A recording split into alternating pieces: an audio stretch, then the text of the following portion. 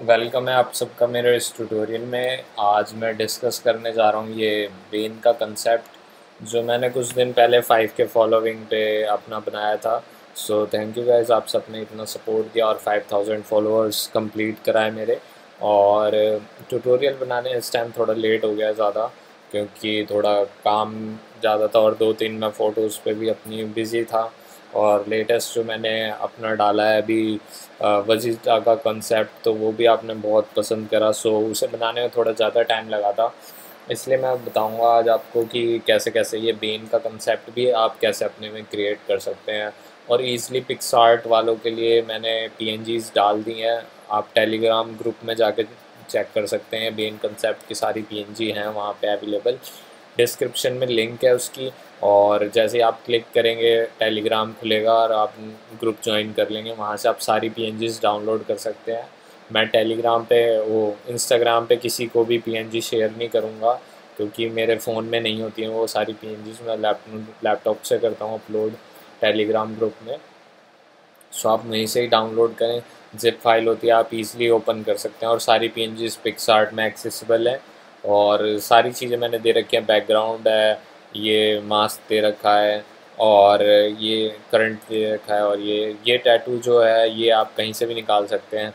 तो टैटू का इतना कोई बड़ा इशू नहीं है। आप नेट पे टैटू पीएनजी लिखेंगे तो आ जाएगा। सो so, यहाँ स्टार्ट करते हैं अपने ट्यूटोरियल के साथ। तो सबसे पहले यहाँ एक अनस्प्लैश डॉट कॉम से मैंने वॉलपेपर लिया था। सो so, ये पूरा वॉलपेपर है और इसे मैंने ब्लर कर दिया था गॉजियन ब्लर से। ठीक है? तो जस्ट कुछ ऐसा लुक आया था अनस्प्लेस डॉट कॉम से इसका नाम बीजी रख देता हूँ मैं अभी। ठीक है? तो इसके बाद जस्ट मुझे अपने आप को इंसर्ट करना था मॉडल एज अ रूम ठीक है? तो यहाँ पे बहुत सारी चीज़ें मैंने आ, कर रखी हैं जो आपको समझ में आएँगी थोड़ा टाइम लगेगा। मैं भी समझा देता हूँ आपको। ठीक है? यहाँ जस्ट मैंने अपने आप को इम्पोर्ट कर रखा है। जस्ट आप कंसेप्ट समझिए। ठीक है? तो यहाँ पे जब जैसे मैंने मास्क इंसर्ट करा तो ये मास्क डायरेक्ट आपको पीएनजी मिलेगा मेरे आपको कोई करने की इतनी ज़रूरत नहीं है। ठीक है? तो ये मास्क अभी यहाँ अच्छे से ब्लेंड नहीं है। तो ब्लेंड करने के लिए मैंने यहाँ पे मास्क में आ, ये कर्व से डाउन कर रखा है। कर्व से डाउन मतलब ये बिल्कुल नीचे ला रखा है।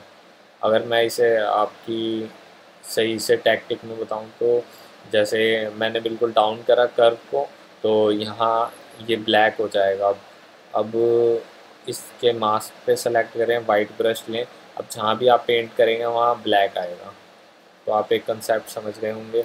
यहाँ पे वो नीचे शेडो लाने का। तो शेडो का कंसेप्ट यहाँ से आया था कि इसके नीचे एक शेडो आ जाए तो वो रियलिज्म थोड़ा सा आ जाएगा उस चीज़ में। तो यहाँ इतना सब ये फालतू की चीज़ें इसीलिए कर रखी है मैंने। और इसमें मैच मैच मैचिंग का भी है कि मैंने अपने आप के कलर कैसे मैच कर रखे हैं यहाँ पे। तो इन शॉर्ट और इतना आपको डीप में नहीं जाना है। आपको जस्ट यहाँ एक न्यू लेयर क्रिएट करनी है।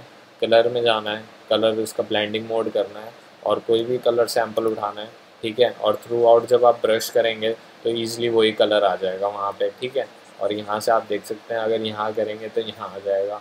अब इसी को ही आप बिल्कुल थॉरो पर्पज से कर सकते हैं, धीरे धीरे यहाँ पे एजिस पे। आप देख सकते हैं, वही सेम इफ़ेक्ट आ रहा है जैसे मैंने उतना कर रखा है। और उसके बाद डबल क्लिक करके अंडरलाइन लेयर को स्प्लिट कर देंगे तो और अच्छे से ब्लेंड हो जाएगा वहाँ पे। तो ये बिल्कुल एक सही चीज़ है जो मैंने आपके लिए फाइंड करी है, और इससे आपको कोई प्रॉब्लम भी नहीं आएगी और सही भी लगेगा। और अगर ज़्यादा प्रॉब्लम आती है तो यहाँ से आप चैनल नॉकआउट कर सकते हैं तो ईज़िली आपकी और अच्छे से ब्लैंडिंग हो जाएगी। ठीक है? तो जो भी आपको ब्लेंड सही लगे मोड वो आप सिलेक्ट कर सकते हैं, ठीक है? तो इतना परेशान होने वाली बात नहीं है इस चीज़ में, ठीक है? अब डिस्कस करते हैं कि मास्क अच्छे से ब्लेंड करने का। मास्क अच्छे से और ब्लेंड करने के लिए मुझे यहाँ कर्व यूज़ करने पड़े थे। कर्व मैंने सिंपल यूज़ कर रखे हैं, यहाँ डाउन कर रखा है। कोई हाई फाई इतनी चीज़ें हैं नहीं, आप यहाँ देख सकते हैं कैसा फ़र्क पड़ रहा है एक मास्क पे। तो वही चीज़ है, मैंने पूरा डाउन कर दिया तो वहाँ ब्लैकनेस आ गई है और ये पूरे अराउंड सराउंडिंग से मैच हो गया है। ठीक है? अब उसके बाद यहाँ पे मास्क में ये ग्लो डाला था मैंने तो ये इनबिल्ट है पीएनजी में तो आपको करने की ज़रूरत ही नहीं रहेगी। और यहाँ पे ये लाइट्स हैं, थोड़ी सी रिम लाइट मैंने ड्रॉ कर रखी हैं। और इजी होती है रिम लाइट ड्रॉ करनी यार? आप हमेशा ही पूछते रहते हो रिम लाइट रिम लाइट तो इतना यहाँ अभी समझा नहीं सकता मैं, अच्छे से स्ट्रोक्स भी ड्रॉ नहीं हो रहे हैं। तो यहाँ पे जस्ट आपको पेंट करना है, आप प्रीवियस ट्यूटोरियल्स में भी देख सकते हैं। एक मैंने एस बी एन आर्ट का बना रखा है तो उसमें पूरा थॉरो गाइड है इसका, कैसे कैसे मैंने ड्रॉ कर रखा है। वो फुल ट्यूटोरियल है, एक आर लॉन्ग का तो आप वो देख सकते हैं। मैं लिंक भी डाल दूँगा नीचे डिस्क्रिप्शन में तो आप वहाँ से देख लीजिएगा। आपको ड्राइंग का पूरा पता चल जाएगा। फिर उसके बाद मैंने यहाँ कलर को ब्लेंड कर रखा है थोड़ा सा अंडरलाइन लेयर से, ठीक है? सिंपल की कलर यहाँ पे भी रिफ्लेक्ट होना चाहिए। उसके बाद ये फर ग्लो कंप्लीट हो गया था मेरा। अब मेन चीज़ थी, यहाँ पे थोड़े मैंने हेयर्स ड्रॉ करे हैं। सिंपल अपने हाथ से खुद ही। और यहाँ पे आपको ब्रश कर देना है बिल्कुल three point three P X का। और फिर जस्ट ऐसे ब्रशिंग करनी है जहाँ भी आपको बाल चाहिए, ठीक है?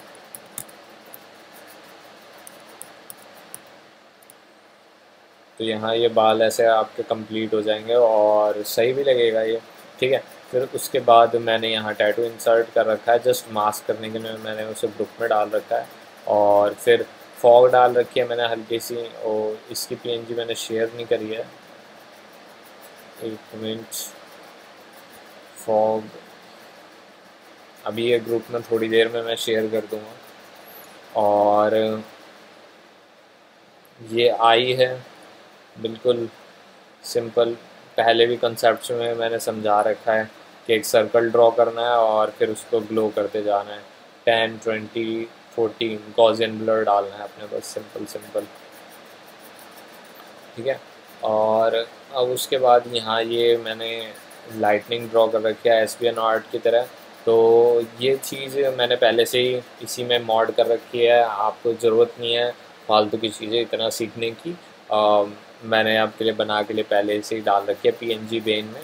तो यहाँ ये कंसेप्ट पूरा इसी में ही मर्ज है मतलब जब आप ये मास्क डालेंगे तो ये पहले से ही अवेलेबल होगा। ठीक है? उसके बाद मैंने यहाँ थोड़ा सा ये हेड पे मैंने सोचा यहाँ पे भी होना चाहिए और फिर उसके ऊपर थोड़ी शाइनिंग डाल रखी है ओवरले से।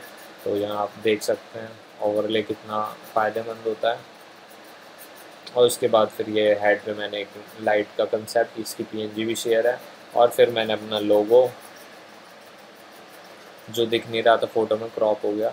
और उसके बाद कलर ग्रेड तो कलर एफएक्स यूज़ करता हूँ मैं कलर ग्रेड के लिए। एक कलेक्शन है, आप नेट से डाउनलोड कर सकते हैं। ठीक है?